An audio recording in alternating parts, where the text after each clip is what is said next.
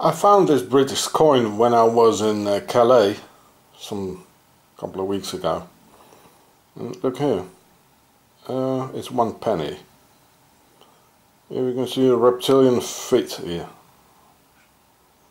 Now why do they put some reptilian foot on feet on it? And this here is a crocodile with some pharaonic feather on it, on his nose. Now why would they do this?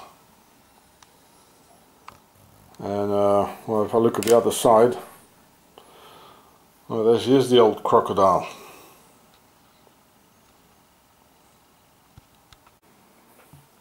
And there she is again, the old lizard.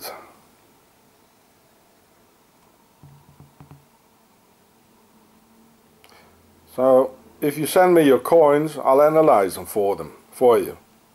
Even better, you do it yourself and upload it.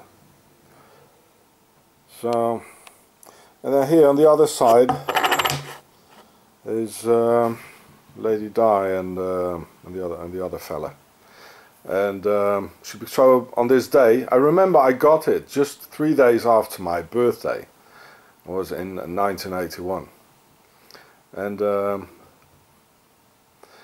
so on this day she became the Princess of Wales, or as she later would say, the Prisoner of Wales.